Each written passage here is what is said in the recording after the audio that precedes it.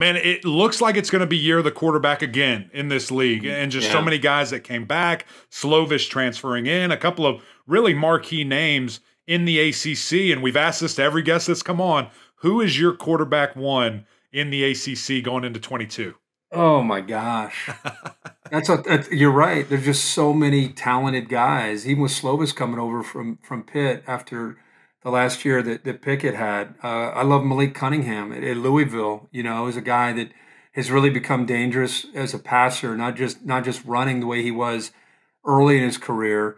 Um, I think Devin Leary has a chance to ha- to have a monster year. He's kind of a, a guy that when you bring up all the names he tends to, and I think them as a program, they play with a chip on their shoulder. They like to be disrespected, and he kind of embodies that.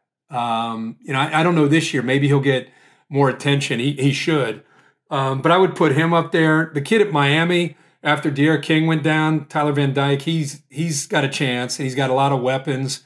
He's got Josh Gattis now as his offensive coordinator. I think he has a chance to to really be big no one ever talks about Brennan Armstrong at UVA, and he was as good as any of them last year.